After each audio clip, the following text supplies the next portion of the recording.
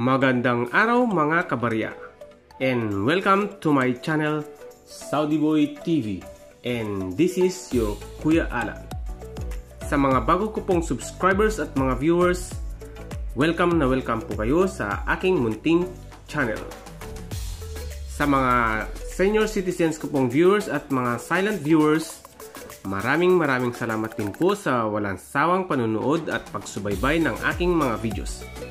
At kung bago ka naman po sa aking munting channel, ay huwag mong kalimutan i-like, mag-subscribe ka na at pindutin ang notification bell para updated ka palagi sa panibago kong videos.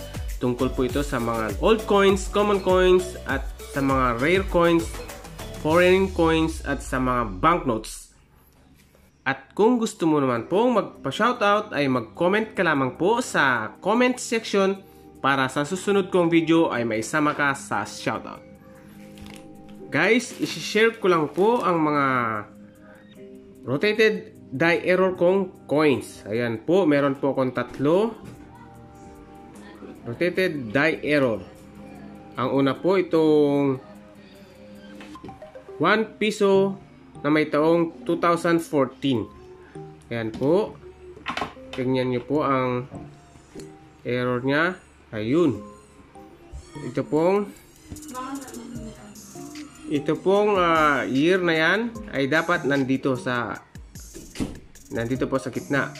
Kaso nandun po, yan po ay rotated die error.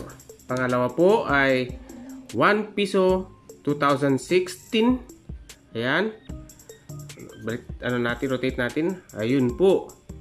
Nandito po yung Bangko Central year. Dapat po nandito yan. Yung nandito sa ano na yan, yung year. Ayan. Ang last po na error ay itong 5 piso BSP 1997 without mint mark. Ayan po. Rotated die error din po ito. Pero slightly die error lang. Ayan. Ayun po. Ayan. Andun po yung year. Dapat po nandito yan sa may gitna. Ayan guys. Ayan po ang mga collection kong rotated die error. Ayan. Ang tatalakayin po natin ngayon guys ay itong baryan ng Libya. 100 dirhams na may taong 2009. Narito po ang features nito. Country, Libya. Period, Jamahiriya 1977 to 2011. Type, Standard Circulation Coin. Year, 1377 or 2009. Calendar, Islamic Hijri. Value, 100 dirhams. Currency, dinar, 1977 to date. Composition, copper nickel. Weight, 7 grams. Diameter, 27 millimeter. Ang shape niya po ay round orientation, medal alignment. Ito pong baryang ito ay demonetized na. References, KM number 29. Ang nakikita nyo guys ay ang kanyang obverse. Armored Equestrian. Lettering, Arabic character po. Ang taon, 2009. At ang Islamic year po, 1377 at ang Arabic character. Translation, The Great People's Socialist Arab Libyan Jamahiriya 1377 after the death of the Prophet 2019. At ngayon guys ay dadako na tayo sa kanyang reverse.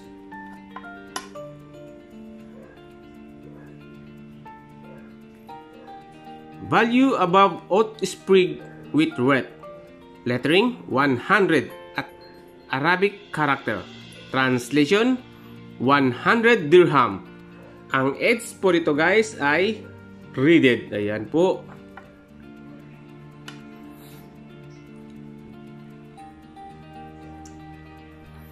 At ngayon guys ay dadako na po tayo sa kanyang update price sa Numista. Meron lamang po itong tatlong update price. Sa very fine ay may halaga pong 120.62 pesos. Sa extra fine naman po ay 71.02 pesos. Sa uncirculated po ay may halagang 281.82 pesos. Ayan po ang tatlong update price ng 100 dirhams na may taong 2009 or 1377 sa Islamic calendar. At ngayon guys ay dadako na po tayo sa ating shoutout portions sa mga nag-comment sa ating previous video.